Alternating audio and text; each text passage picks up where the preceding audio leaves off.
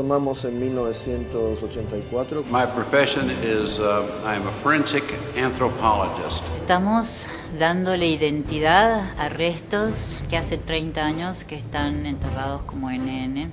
La historia del equipo argentino de antropología forense que este año tiene cumple 29 años y esta historia comienza en el año 84 con el retorno de la democracia, recién asumido Alfonsín empiezan a encontrar en los cementerios en la provincia de Buenos Aires cuerpos NN enterrados, es decir, sin nombre.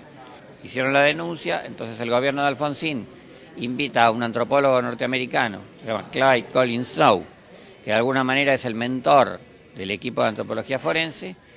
Clyde Snow viene a la Argentina, asesora sobre cuáles son los métodos que hay que utilizar para la exhumación de, de cuerpos y la identificación que son las técnicas eh, que usaban los arqueólogos para la identificación de restos prehistóricos. Esto fue muy importante porque fue lo que eh, permitió empezar a hacer las identificaciones que después se utilizaron en el juicio a las juntas.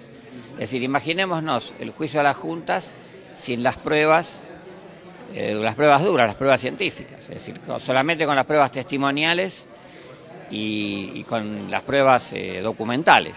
Es decir, el juicio a las juntas quizás no se podría haber hecho o hubiese tenido otro resultado o hubiese estado realmente eh, muy pobre de pruebas.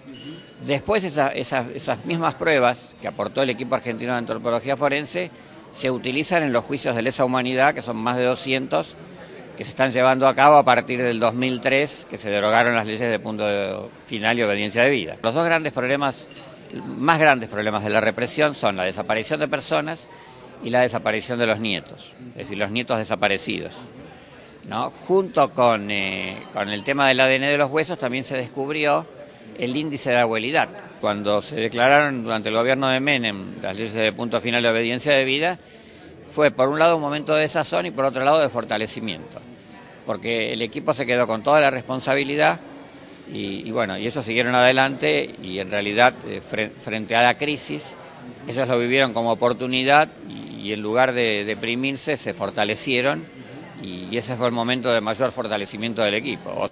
Trabajaron en más de 45 países y no solamente trabajaron haciendo casos, sino que ellos intentan dejar un equipo local forense funcionando. La gente del equipo con la cual yo estoy vinculado también se dio cuenta por las cosas que yo preguntaba y por la manera en que íbamos a hacer un trabajo profesional y con el respeto que se merece la causa, ¿no?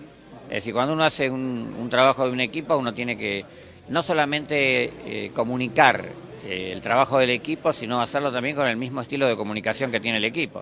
Es decir, que uno tiene que adaptar la estética y el tratamiento del documental a, digamos, a los conceptos que maneja el equipo, a los conceptos éticos que maneja el equipo.